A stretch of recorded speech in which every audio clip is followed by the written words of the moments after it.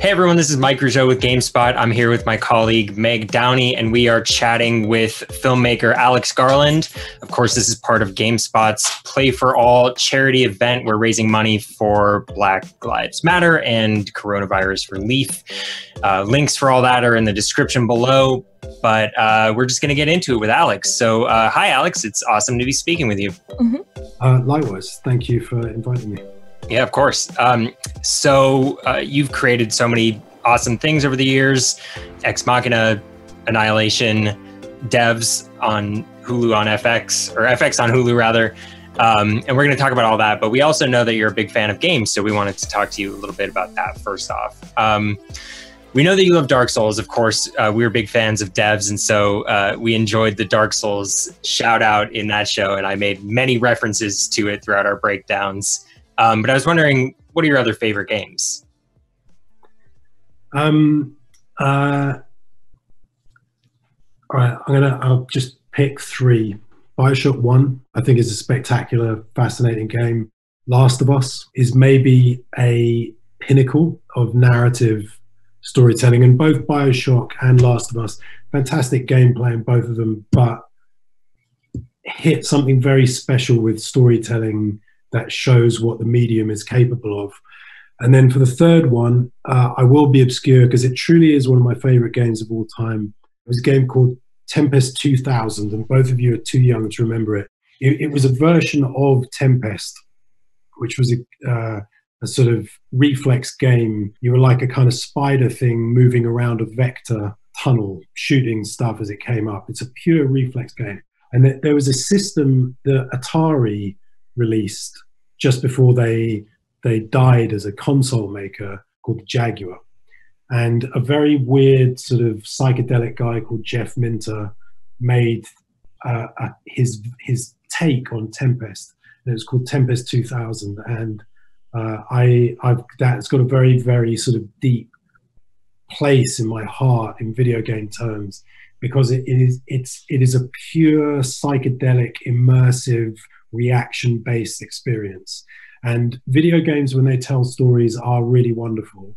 But there's something else video games to do as well, which is about something hypnotic.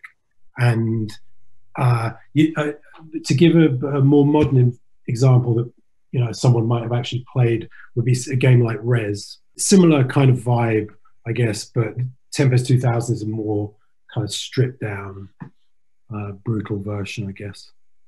I think my version of that is probably Beat Saber. Mm. Right I was just about to say that sounds like a rhythm game, like a modern rhythm game. Yeah, you just hours disappear into it. Mm-hmm. Yeah, yeah. It's it's, it's uh, and also that there was a I don't know.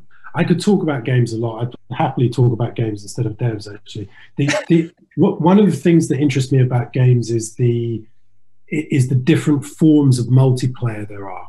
So there's a version of multiplayer which happens a lot these days where you're hooked up and you've got your earpiece and you're playing whatever it is, Call of Duty or you, you know, you name it. But there's another version where there's a group of people who are gamers and they're sat in the same room, and the, the each turn takes a relatively short amount of time. So to beat the level takes maybe a minute and a half. But you've got to play incredibly well during that minute and a half. And if you've got three people who are really, really, really into video games and they're trying to crack this thing, and there's limited lives and the pressure's on, and you're handing the controller between you, it's sort of magical. I love that. Yeah. I mean, that's an experience that's currently lost, but hopefully we'll get it back someday. Yeah. Oh yeah, the idea of like the LAN party when you would have to bring your console to someone else's house and then like set up a divider to make sure that you weren't cheating off of the other screen. In the mm. distant past of last year when I definitely did that for my birthday. How excited are you about Last of Us 2? Very. I had it on pre-order and then they sort of cancelled the pre-order, I guess delaying it and now it's back again what is it 20th or something it comes out? Yeah it's soon and yeah, the reviews really. are in. It sounds like a banger. I haven't read any reviews. I'm going to go into it cold. Okay i won't say anything more than yeah. I'm going to love it. I mean i know i'm going to love it. Did you check out the trailer for the Demon's Souls remaster? No. I i actually only heard about it yesterday uh, um, uh, from a. Uh, I, I had to pick up my son and um, his friend in the car was talking about it. That's how I found out. I mean, I'm psyched. Yeah, I mean that was that was pre Dark Souls, of course, but uh, to Sure. me it's a classic. Yeah. Um, Never played it. Never played it. oh my god. Okay, well you have to play it when it, when the I'm going to play it. I'm, I'm going to play it to death. Don't worry about that. You've worked on some games, of course, Enslaved, Odyssey to the Right. West, DMC.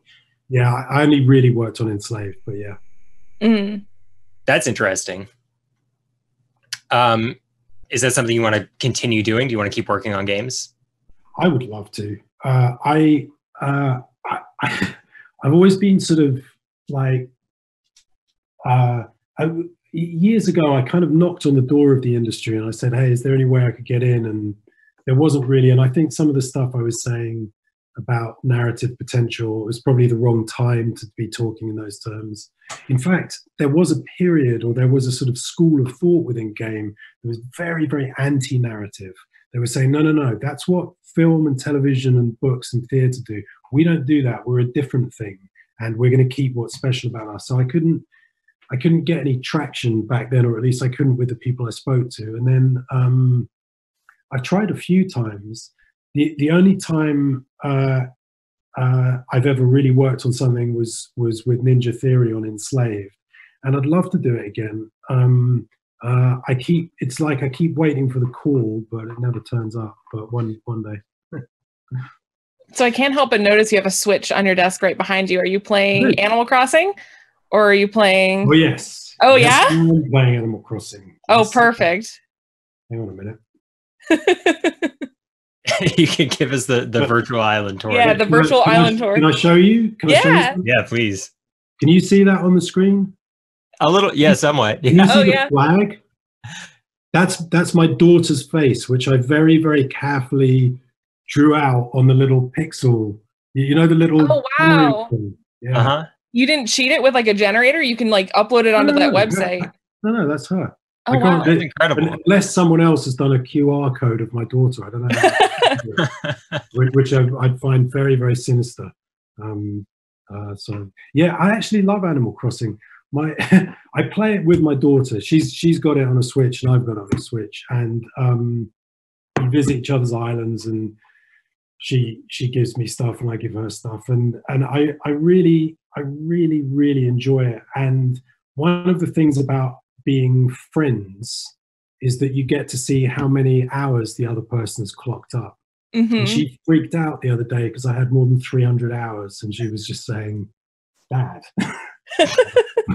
come on like, How many is she at? uh, she has like about 100 less than me Yeah. Oh wow.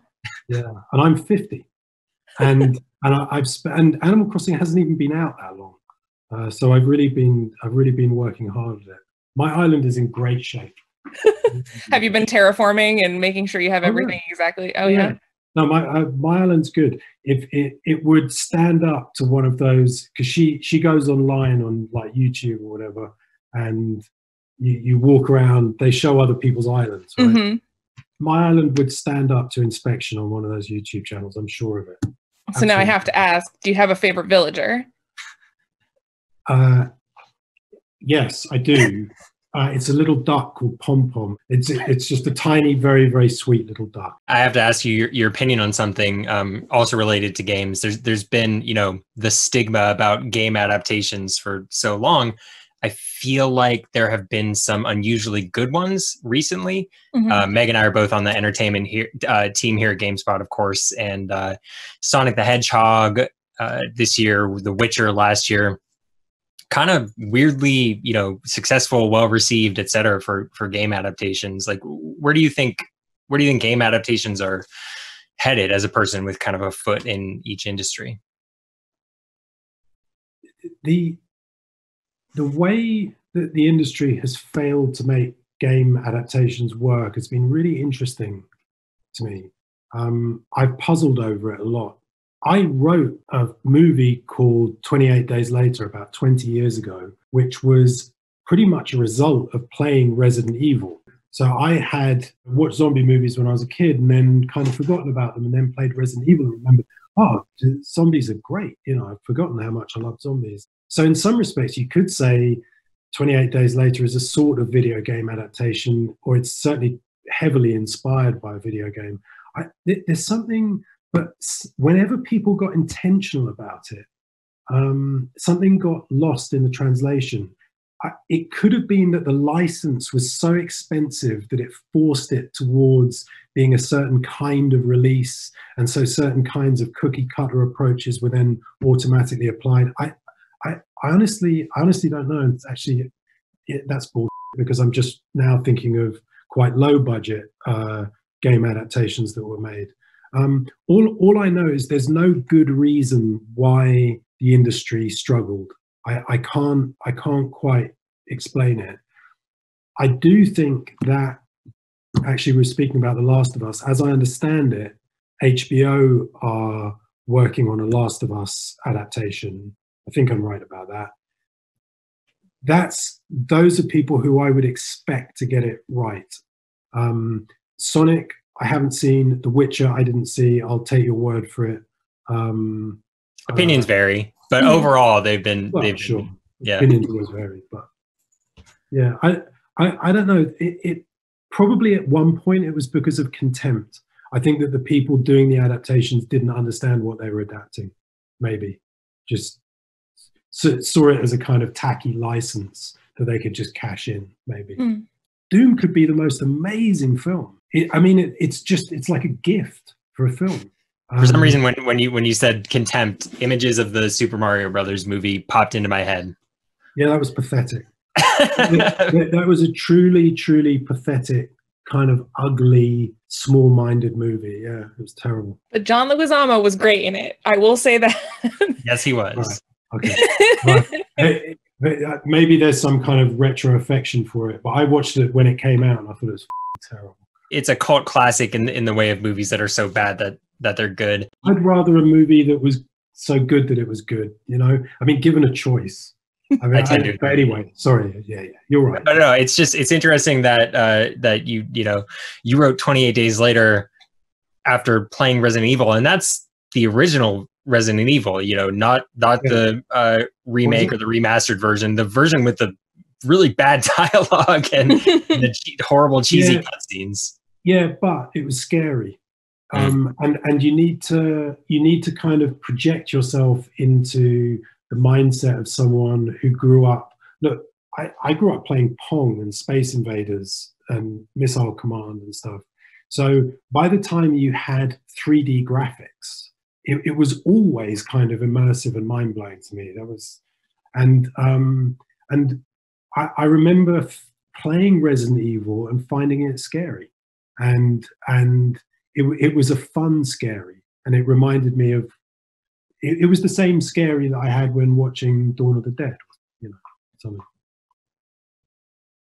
Yeah, I totally agree. I mean, I think I think Dark Souls in in many ways is, eh, you know, all the way through to Bloodborne is a modern um, iteration of that, right? Because it, the, there's the the world is horrible and there's horror tropes uh, in the world building, but then because the gameplay gets so tense, you feel a fear that's like mechanic as well while you're playing it. So I, I can kind of consider those modern horror yeah, games. Yeah, kind of. I know, I know exactly what you mean. They're, they're highly stressful games mm-hmm. because because if you die at the wrong moment, you could really lose a lot. And if you uh, partly in terms of what you're carrying, but also if you get to a certain point within a boss fight and you're on no energy and they're on no energy and like that is truly stressful and then you get this huge rush when you finally you know do it. Um the the only the, the big difference for me in dark souls and i think the reason i love dark souls more than say resident evil actually i really the resident evil games are really fun the dark souls game seems to have this kind of embedded poetry in them. You'll you'll have some weird bit of dialogue with some sort of broken soul sat with a bit of armor outside some doorway or gate and and it feels like some like you've drifted into this existential dream. And uh, that i think that's what i really love about dark souls. The, the different spaces are so imaginative and they they seem to kind of flow into each other and flow out of each other and it's very that's very dreamlike and uh, that I think that's what I really love about those games. I mean, it's it, it, it, they do have this kind of minimal. You're right in that a lot of the stories is it comes across in these conversations that last three sentences, right? And your character never says anything at all. Um, do you think that a series like the Souls series could ever work in another medium? Like, do you think somebody should look at adapting that? Uh, I can't imagine how you do a Dark Souls film or TV adaptation because, um, say, The Last of Us, it has a particular kind of narrative thread to do with the relationship between this man and this little girl, and um, and then it's a road movie in a way, or a road trip, and uh, and and so it's quite easy to see how you would parcel that out into character development and set pieces and so on. Uh, Dark Souls, the quality that makes Dark Souls special is probably unique to video games. I could imagine doing a 10 minute short for Dark Souls you know? And it wouldn't be it wouldn't really be a story. It would be like a tone a, like a sequence of moments. But but it's not a movie. It's a, a yeah it would be like a 10 minute thing you know? To, i can imagine you doing that. Oh boy. That would be fun I think that's uh, as good a segue as any to start talking about devs. Uh, Meg and I, of course, did the breakdowns for GameSpot. I think it's safe to say that we both are obsessed with it. Just by means of a segue, I want to ask you about the Dark Souls moment. I think it's in episode two. It's after we meet Jamie for the first time. Lily goes to his apartment and he's playing Dark Souls, and she kind of raps on his uh, window at the moment that he dies. Well, you always die in Dark Souls, but yeah, sure. That's true. That could be any moment. So, so I wanted to just ask you about kind of getting that Dark Souls reference in there, where where the idea came from, and and uh, you know why you thought that. Um, it, it, it's it's partly just affection for the game, which I'm sure I've just made pretty clear, but um, it's also the "you died" thing, um, because uh, it, it's a show in part about uh, inevitability and um, that's where Jamie's headed. We have to get into spoilers for devs because this is our first chance to talk to you, Alex, since the show ended. We have some questions, you know, about the show as a whole, but but also, you know, about the overall themes, about the the ending. So if you haven't watched devs, maybe skip this part of the video. You could use this time to go and watch devs because it's truly one of the one of my favorite sci-fi shows I've ever seen. So Thanks, obviously a lot of work went into building the technology inside of that show. We were continuously surprised as we poured through each episode to find that so many of the theories and the technologies and the machines that were shown or discussed had bases in in reality. Do you think that this um, sort of simulated, you know, digital existence that ultimately the show uh, leads up to is is realistic? Do you think this is you know really coming? Um, I I I do think it's realistic. Um, I mean, I, have got to choose my words slightly carefully um, because uh, because because I it, it's easy to say things that are slightly wrong, and slightly wrong in this context can mean very wrong. Um, I think it's I think it's realistic in as much as that it is possible. And when things are possible, that really does mean they might happen. So you need to take on board the idea that it might happen. There is currently quite a, a sort of significant school of thought that is particularly entrenched within the tech industry, uh, which says we are already in a simulation. And I sort of think it's no surprise that the tech industry, with its own sense of omniscience, would like an idea that puts its own workings at the heart of the working of the universe. Uh, I, I don't believe that. I don't believe we're already in a simulation. But but if you are able to simulate quantum mechanical processes, which must be conceivable at some point, then reality then becomes simulatable. So uh, so yeah, sure. I'm glad you addressed that because I definitely was going to ask. ask ask about whether this in the here and now. You mean? Yeah, just whether you thought you know because that's obviously a theory you know ever since forever, but also we talked a lot. I think every breakdown for each episode of, of Devs, I brought up the Matrix at least once. You did Right. confirmed. Absolutely confirmed. Um, and kind of speaking towards the idea of the simulation and like the logistics that would be inside of that simulation, I have to talk about Katie a little bit because her story was the one that like it really broke my heart at the end. Like going through it, she was kind of the villain and I respected her a lot, but then she gutted me at the end when she basically had to give everything she had up and then we don't see her in the simulation did she exist within it did her and forrest Yeah. just not have the story that they had or she would exist within the simulation on a different timeline, and in fact, on many different timelines, uh, many different versions. But the Katie that is the Katie outside observing, that has the knowledge that that Katie has, does not exist within there. The easiest way for me to describe it is that Katie and Forrest are like priests. Katie is a priest without doubt, and Forrest is a priest with doubt. Um, but the priest without doubt stops Forrest from doing the thing that Lily ultimately does. And that's what faith does is it inhibits us. It stops us from asking questions that we should ask because we're told not to, because that would be a betrayal of the faith. Uh, we'd be letting the faith down by posing those questions. And um, the the reason I'm saying that is partly to say that is the explanation for their actions. It's not that Katie's a bad person or a cold person.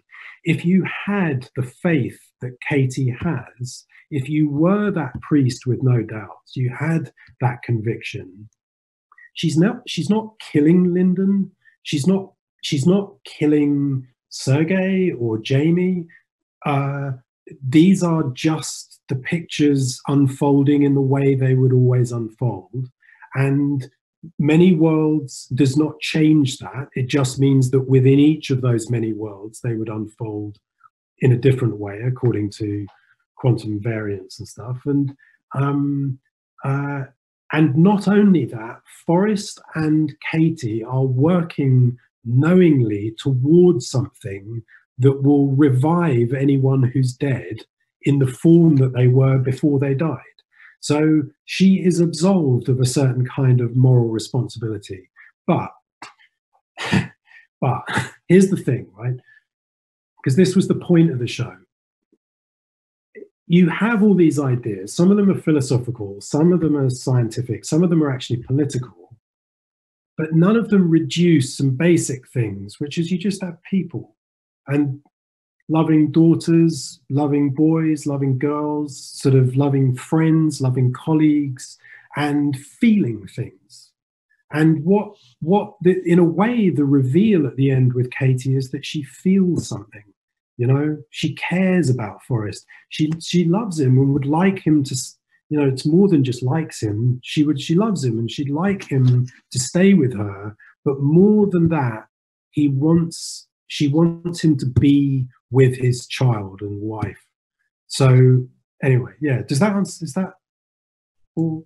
yeah no Yeah. that that absolutely does answer it just yeah it seems she's the one I- i was very surprised to get to that point in the show and find that she was the one who i felt was making this big sacrifice when it felt like she was you know she was kind of the one with nothing to lose There's no baddies, right? Mm. Except maybe Kenton. He's a thug.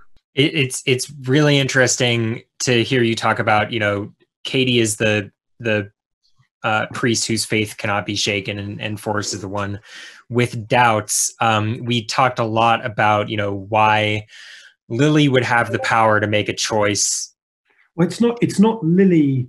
It's it. it it's not just Lily, but but you you have to be. It's like they needed some atheism to be able to do that. Yeah But exactly arrives in it just like F- you. Kidding? Well, there's there's that scene where Katie and Forrest are are seeing themselves slightly in the future or something, and and you know she folds her arms, and we were saying we we said this a lot. You know, she could just put her hands in her pockets. There's nothing stopping her from doing that, but she No. believes that she won't, and so feels herself unable to. Yeah, because because there's a critique within this uh, about some paradoxes within religious thinking, and uh, one of them is to do with free will, actually, to do with being uh, us being punished uh, apparently for an original sin, an original disobedience, um, uh, by a god that, if it's the god is all knowing, would have presumably known that that was about to happen, not, not just just before it happened, but since its inception, since the inception of everything, and and that that is a paradox, um, whatever anyone says, and. Um, so and and so the, the, there's the, there's a bunch of these paradoxes floating around, and and one of them is to do with the way uh, the, the kind of grip that faith has, and and what that scene between Forrest and Katie is attempting to show is the way in which faith will close down a reasonable line of questioning. I wanted to ask you one more question about Katie and Forrest. There's the flashback scene that that Katie is watching when Forrest essentially went and recruited her. He lays out a scenario and then he asks her, "Is that possible?" Right. Yeah. And one of the things that Meg and I discussed a lot when we were analyzing and, and breaking the showdown was what is Forrest's ultimate goal, and did that goal morph and shift over time? But the thing about that conversation is we never mm-hmm. actually heard what Forrest laid out for her. We just heard the question, is it possible? So I was hoping you could maybe reveal what did Forrest ask her? It, it, it it's the goal that that ends up being the goal. F- Forrest is is not Forrest wants to be reunited with his daughter. He doesn't want his daughter to be dead. Even if he can't reunite with her, he just doesn't want her to be dead. So he's looking for the, the, promise that religion gives us, which is that there's an existence beyond the one that we're aware we're having now. Um, and but but the route to that requires determinism in order to be able to get that. And so so in a sense, everything that all of the things about determinism, all of the falling, the looking backwards and the looking forwards, that's not the intention. That is a byproduct that would happen if you were trying to make a machine within a universe that ran along deterministic rules. You see what I mean? So, so it's a misdirect. It looks like this thing is a prediction device looking forwards and backwards, but it's not. It's a resurrection device. Well, that was one of our questions as as we were as the mystery was unfolding throughout the episodes. You know, we were looking at the the dead rat that they brought in, and we're thinking, you know, I, I was making a lot of guesses, going, well, is he is he going to sort of bring Amaya back to life and interact with her through the screen. Meg brought up the Tamagotchi analogy more than once, um, but then the the you know inserting himself into that digital world is not something that I, I, I definitely didn't see it coming.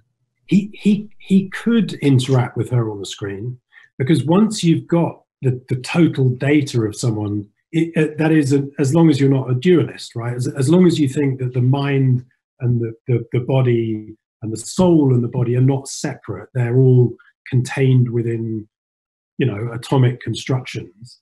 Um, then then you then he would be able at a certain point if the machine worked to be able to construct his daughter and then talk to her via the screen. But i don't think i don't think that's what he wants to do because that would be in a way a disturbing thing to do to a child that had all of the the feelings and qualities of an actual child to say listen you're dead but you're in a computer but we can still chat to each other in this way. That that that, that that's not going to be helping anyone. Um, it, his his minimum hope is that he can construct a world which is equal to our world in which he can continue to exist. And and then placing himself within it is like uh, the best version of that world. However he approaches the project not wanting to believe in many worlds he is forced eventually to accept that many worlds is the correct view of the universe, the, the, the, way the universe functions. And that gives him a bitter pill to swallow, which is that there will be worlds where he's reunited with his daughter in a wonderful way. And there will also certainly be other worlds where it, it is reunited in a not pleasant way, in, in, a, in actually a very, very dark way. So he's never able to get exactly the thing he wants. He's just able to know that thing does exist somewhere. Do you see what I mean? Is that your view as well? About many worlds? Yeah, of reality. outside the show? Uh, I, I, I, I have no view on it because because there are there are all sorts of competing views within quant- interpretations of quantum physics, some of which are deterministic, some of which are not deterministic. Some are one world, some are many. There's also many versions of many worlds which don't relate to quantum mechanics. They relate to maybe infinity or lots of different universes or just just basic maths if there's an infinite number of chances of something to happen they're going to repeat it and so on and so forth i i within that huge mass at the moment i keep trying to read about holographic universes which is another completely different interpretation there's no way i can know which is the right one i do know that some of them appeal to me more than others uh, on a sort of deep instinctive level. And in some ways, I prefer the many worlds approach to, say, Copenhagen, because many worlds provides an explanation and Copenhagen doesn't. So, so I guess I could say that. But, but listen, I'm a writer in London. I don't know. I, I, I read, I read and I watch videos and I talk to people I'm a layman. You know, I, yeah, I mean, imagine how Meg and I felt trying to figure it out week to week. well, you felt exactly the same way as me. That mm-hmm. you, you, know, I, I, I don't know, but but the, but knowing in a way isn't really the point. What one of the things is to just offer these things up to people. You know, it's not to say this is the way the universe is. It's to say, isn't this an interesting thing that these people are suggesting and proposing and talking about? and and aren't their ideas wonderful? I have one continuity question about devs that i just need to ask real quick. At the end when he is reunited with his daughter is there a reason that she is still a young girl? Or is it simply to neatly tie a bow on it in as simple a way as possible? I, I love that question. I love it. Um, uh, the the reason she is the age she is is because that's the age the actress was Excellent. I love, I love that, that, answer. answer. because we talked at great length about this. I, I knew it was going to disappoint you, and I'm sorry. I'm, I'm not disappointed at all. No, we we you know, I mean we we ID'd his Subaru to try to figure out you know what year he froze his life. At, you know how long ago did she die, et cetera, et cetera. But uh, you know Occam's razor. When when we were working out the timeline for the film, we condensed it all to ourselves to the shortest time frame we possibly could to try to allow for that kind of thing and also realistically allow for the construction of this machine and this concrete cube and so on and so forth. But but but the truth is that the answer is the, the, the answer i gave is the answer. It, it's it's it's like that in film uh, you, you know there's a scene between lily and anton in a sort of misty spy concrete space with this San Francisco fog rolling past. That was intended to be shot on a sunny day with a beautiful view of the bridge. When we turned up, there was fog. These things can subsequently look intentional. It's you, you at the end in film, you have to stick a camera at something. And I can't age a little girl. Meg's gonna kick herself if she doesn't get to ask some questions about Annihilation, a movie okay. that you absolutely love. I throw to you.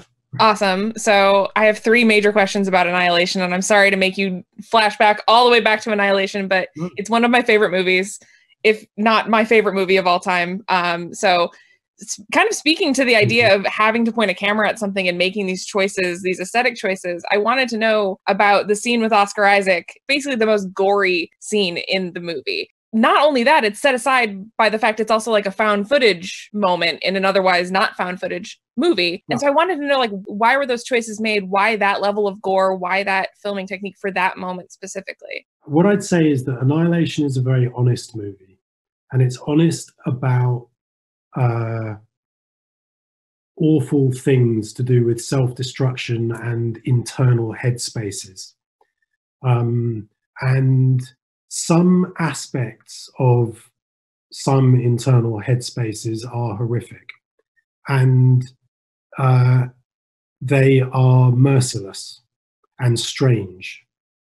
And so some of the qualities within annihilation are merciless and strange. I love that. That's perfect. That's I mean that's exactly the sort of answer I would have wanted from that. Now, this one's a little bit more specific about the bear. I've had conversations with friends who are equally as obsessed with the movie as I am about the logistics of the bear's sentience. And I'm sorry that this is incredibly specific. There's a debate about whether or not the bear intentionally stole Cass's voice box by ripping her throat out and was aiming to give itself a voice or like to become more human, or if that was just a senseless act of violence. So, um, one of uh, what one of the things about annihilation is that the, the the place it is trying to aim itself at is people's unconscious. So it, it's a lot. It's very subjective in itself, and it's also subjective in the way it's intended to be received and responded to. Um, so I can give my subjective response to that, but I wouldn't want it to be in contradiction to someone else's subjective response because that's not how the film is intended to work. Um, uh, in my intent, in my intention, uh, it is not deliberately doing anything. It is, it is, it is, as it were, part of a refraction that then takes on that moment at that time. Um, what I would ask, I'm just curious now, did you notice that the house that the bear turns up to is Lena's house? Oh, absolutely. Yes. Yeah. and did you see Oscar's tattoo on his chest? Mm-hmm. Yeah, okay. So you've seen those things and you've seen the echo of shots as well of yeah. So good. I mean the what what what is happening in that space is things that exist within people's minds are also becoming physically manifested not just in an environment, but also then in each other. So, uh, uh, uh, uh, an Ouroboros tattoo, or whatever it happens to be, or or a feeling, a memory. So, so it, it, it's just annihilation is just a very, very fiercely subjective movie that is attempting to be existing more on a space of the unconscious than the conscious. That's fantastic. That was actually my next question was about the tattoos and I think you covered it perfectly with that explanation. It was I wanted to know why they were never really addressed, you know, kind of in the script, but they're obviously so clearly not, you know, laid out. But it's for you to address. It, it I, I I think I make films or TV shows really for only one kind of person, which, which, which are which are people who are interested in stepping forwards to the narrative if you don't step forwards to annihilation or devs or, or any of them you, you'll get like a quarter of the, thing because because a huge proportion of it is is provided by the viewer. It is an absolute 50-50 participation between the viewer and the group of people that made it. And um, so so yeah i mean I, I, I think and i think annihilation is probably in all the things i've done it's like the purest version of that. It's the most hardcore version of that. Um it it's it's as much about you as anything in the film well i think it's probably time that we let you go so i just want to reiterate um, what an absolute pleasure it's been speaking with you. Um, thank you, thank you so much. Because I get to talk about video games and show my Animal Crossing picture of my daughter. then, then I'm going to I'm going to show it. Well, yeah, no, I will show it. Will. we can always make more time for that. Um, thank you so much for answering all of our weird, specific, uh, nerdy questions about your work. And uh, of course, once again, this is part of GameSpot's Play for All, where we are raising money for Black Lives Matter and for COVID relief. And once again, the information for that is down in the description below. Uh, you can follow us on Twitter. I'm Rogue Cheddar. Meg is Rusty Polished. And uh, stay tuned to GameSpot for more.